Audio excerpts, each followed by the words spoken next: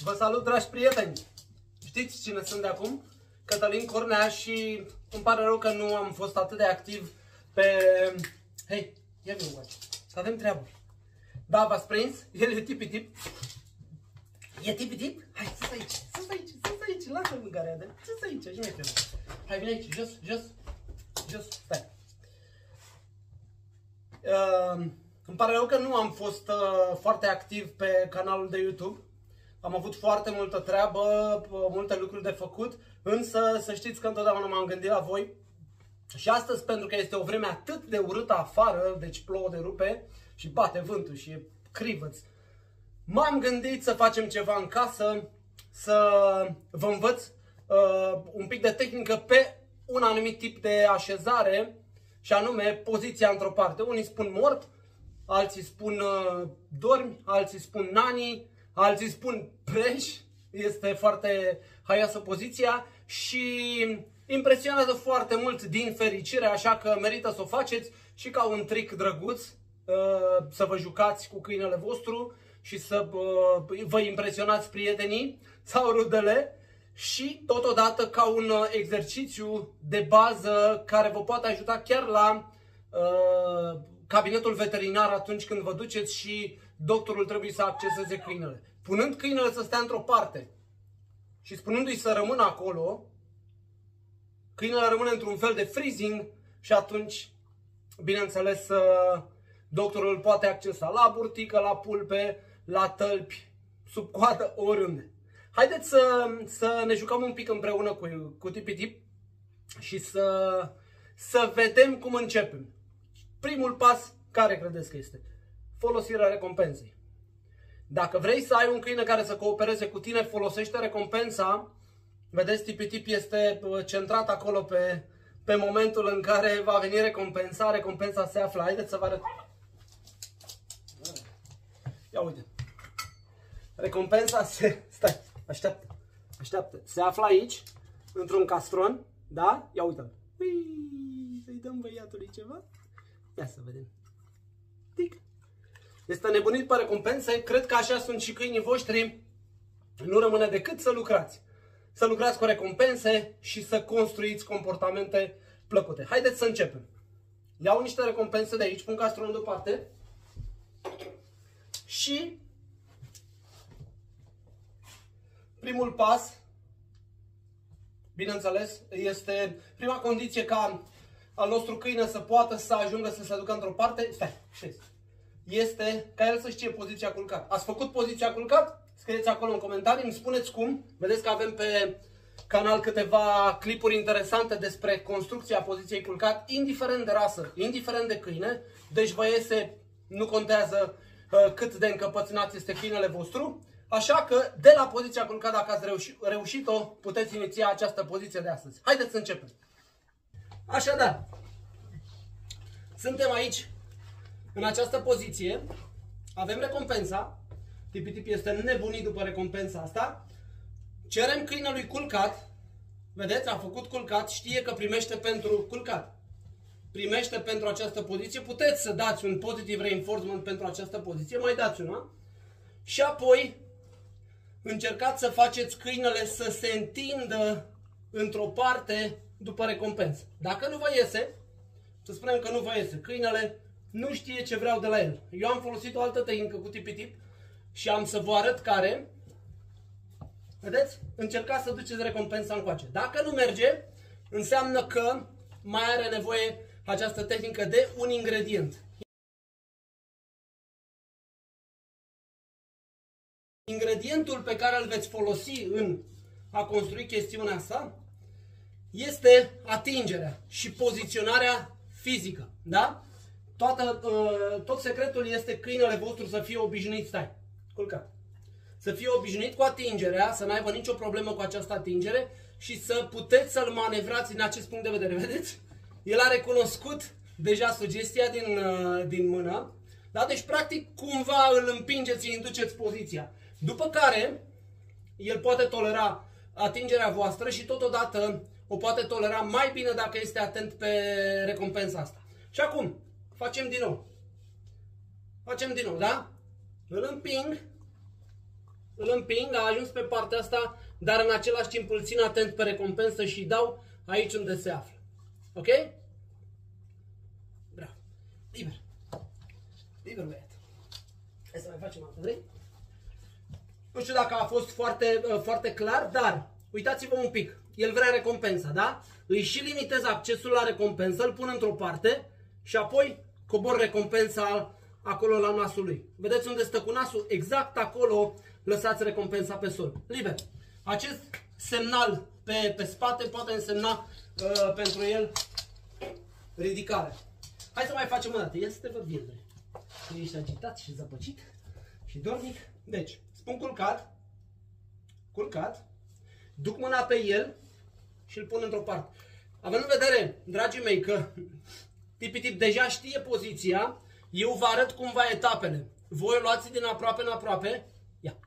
O luați din aproape în aproape, obișnuiți câinele cu atingerea și atingerea practic să însemne ca semnal perspectiva recompensării.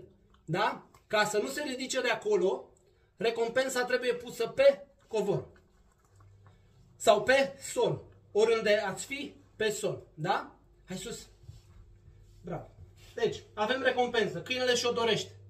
Ce facem? Duc mâna pe spate, îl pun în culcat, încep să-l împing într-o parte, s-a așezat, cobor recompensa la sol. Dar, sigur că da, el nu se va așeza din prima. O să vedeți că voi îl împingeți, el se dă într-o laterală și vrea să se, să se reechilibreze sprijinându-se pe picioarele din spate. Țineți recompensa, hai sus. Țineți recompensa la nasul lui, o duceți într-o parte în timp ce îl împingeți. Când a ajuns așa, i-o dați acolo unde se află. Stai.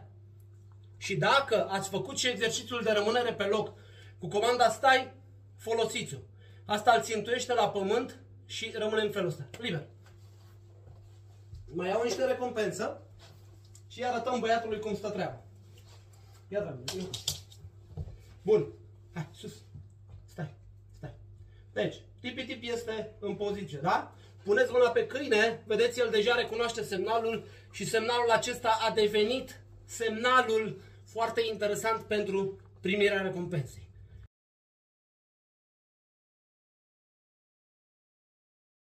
Ca să rămână în poziția respectivă spunându-i stai, transferați, transferați mișcarea asta de poziționare într-o mângâiere, astfel îl și desensibilizați în poziția aceasta descoperită, îl desensibilizați și îl puteți atinge, vedeți, îl iau de lăbuță, stai, stai, îl iau de lăbuțe, fac atingeri, el rămâne atent, după care îi dau o recompensă. Nu știu dacă ați observat detaliul, dar detaliul pe care eu l-am folosit acum ca el să stea mai bine în poziție a fost să las recompensa la distanță în fața lui. Hai să mai facem o dată. Ia, culcat, îl împing, duc mâncarea din ce în ce mai la distanță, o las pe sol, s-a uitat la ea, o iau de aici, o mut ca pe tabla de șah la nasul lui. Stai, Stai, o iau de aici, o mut ca pe tabla de șah și o dau sus. Și apoi liber. Ești îndrăgâț, ești îndrăgâț, da, ești îndrăgâț. Și vrei toată recompensa. Sigur că da. Dacă vreți să aveți succes cu câinele, trebuie să păstrați o atitudine veselă, o atitudine pozitivă, de perspectivă, în continuu de perspectivă pozitivă. Indiferent ce faceți, cum îl manevrați, vedeți? Indiferent cum îl manevrați, câinele să aibă încredere că asta înseamnă recompensă. Culcat? Observați că nu are nicio problemă la atingere. Mort. Ia. Nu uitați markerul ia, care înseamnă, hai sus, care înseamnă în traducerea acel sunet al clickerului prin care anunțați câinele că este în poziția corectă și va primi recompensă. Hai sus. Stai. Stai. Deci îl poziționați, mână pe spate, culcat. Bravo. Îl împing, mort.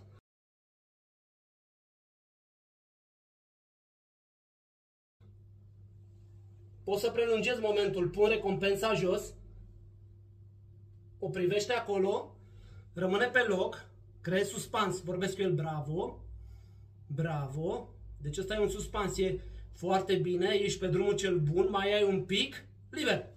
Și apoi trimiți câinele la comanda respectivă să acceseze recompensa. Secretul în toată treaba aceasta ca el să se poziționeze repede și să rămână acolo este să aibă o perspectivă acolo la sol. Și atunci, trimit semnalul,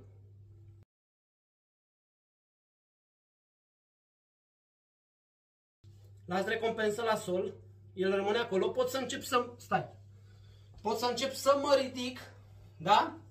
Încep să mă ridic, să mă mișc, îi spun stai. Ce credeți că face el acum? Privește acea recompensă din fața lui, o fixează cu privirea, deci practic păstrează poziția corectă de uh, așezare pe lateral. După care, vin la el, laud băiatul, stai, bravo, pot să transfer pe semnale tactile, care ce înseamnă? Liber. Să se ducă să-și ia recompensa. Aveți două variante de recompensare. Ori îl trimiteți să ia recompensa pe care tocmai o pândește din poziția respectivă, ori luați voi recompensa de acolo și o dați. Deci, e aici, o mut ca pe tabla de șah acolo. Stai, mai pun la jos, o iau de aici, această mișcare îi distrage total atenția și îl face concentrat și dau. Liber. Caută. Mai avem un acolo. Foarte bine. Deci tipi tip, nu uitați, dragi prieteni, că este un câine în vârstă de 10 ani. Nu știu dacă vi se pare, are o energie extraordinară într-adevăr, dar el are 10 ani de zile, el știe mișcarea asta foarte bine din toate pozițiile și în orice fel de context, însă acum m-a rugat să facem un pic de schimb uh, de experiență. Eu îi dau recompensă, el îmi dă mie puțin din știința lui și voi să aveți un tablou uh, de care să vă legați ca să exersați cu câinii afară, ă, acasă, exact într-un context ca acesta, când ă, vremea de afară nu vă permite să, să vă duceți la parc sau pe stradă să lucrați. Hai să mai facem o dată. Deci,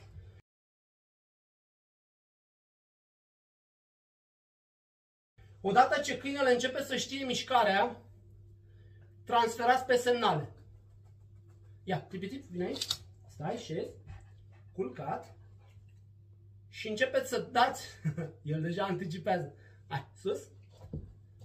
Stai, șezi. Deci, deja anticipează recompensa mea. Eu vreau să-i arăt, șezi. Vreau să-i arăt că dacă răspunde la semnalul meu, semnalul meu poate fi, uh, vedeți, anticipează momentul la semnalul meu din mâna asta către lateral poate fi uh, asociat cu sugestia tactilă, în care câinele are încredere. Dacă nu are încredere, dragi prieteni, nu vă băgați să faceți asta până nu creați o asociere pozitivă între sugestiile fizice, tactile și perspectiva recompensării. Că puteți fi mușcat. El se poate feri, se pare foarte dubios și e gata să renunțe la mâncare. Deci creați legătura asta dintre toate gesturile pe care le faceți. Uite, de exemplu, eu îl iau pe, pe băiat de coadă, da? Îl iau pe băiat de coadă, duc mâinile cum vreau, dar după aceea el anticipează recompensa și chiar eu dau. Deci creați tipul ăsta de, de încredere în toate gesturile pe care le faceți câinelui vostru și după care puteți să vă duceți și pe, pe poziționarea în lateral. Hai să mai facem asta. Încă o dată, dragii mei, și gata, vă las. Aveți timp să repetați acasă. Cei care nu vă descurcați suficient puteți să semnalați acolo în secțiunea de comentarii și dezvoltăm. Dezvoltăm, discutăm și, bineînțeles, să găsim soluțiile inclusiv pentru sincopele de care vă loviți voi. Deci, fac semnul mort, am dus mâna, pun la distanță, stai, da, m-a păcălit acum, a anticipat foarte bine. Nu uitați că nu sunt computere, sunt doar niște câini, ființe vii și merg un pic pe anticipare. E posibil să greșească, dar nu faceți un caz din asta, ci pur și simplu aveți răbdare. Totul trebuie să fie un joc. Stai.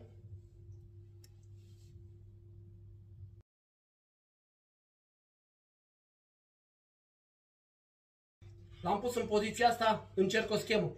Mă duc până la bucătărie. El trebuie să rămână aici. Stai, așteaptă. Așteaptă. Așteaptă. Bravo. Nu? Stai. Așteaptă.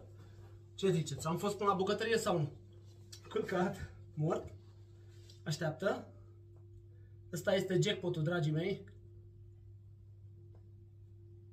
pentru performanța de care a dat dovadă. Deci nu uitați, o să-l las liber, după care discutăm și ne luăm la revedere. Liber. Marea bucurie a vieții lui. Ok? După cum vă spuneam, prieteni, acest exercițiu trebuie să fie și un mod de interacțiune cu câinele plăcut și un mijloc, un prilej prin care câștigați mai multă încredere din partea lui în toate intervențiile voastre, chiar și la nivel uh, mecanic, fizic, asupra câinelui și totodată o certitudine că indiferent ce faceți cu câinele, tot ce inițiați duce în final către o recompensă.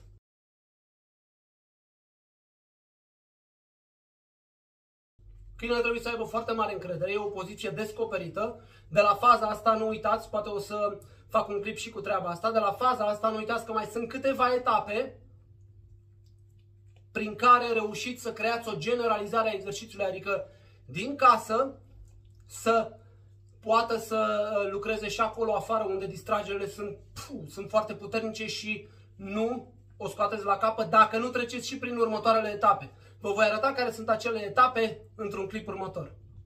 Succes! Intrați în secțiunea de comentarii și haideți să discutăm.